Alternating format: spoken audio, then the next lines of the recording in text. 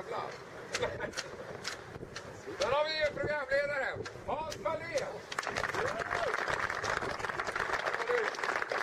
Det är premiärkonferens här. Ska ni lägga in några protester och så?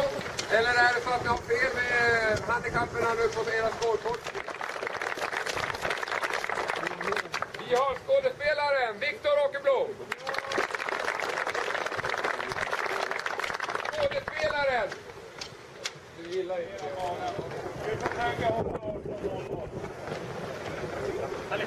Ja, känns allting okej? Ja.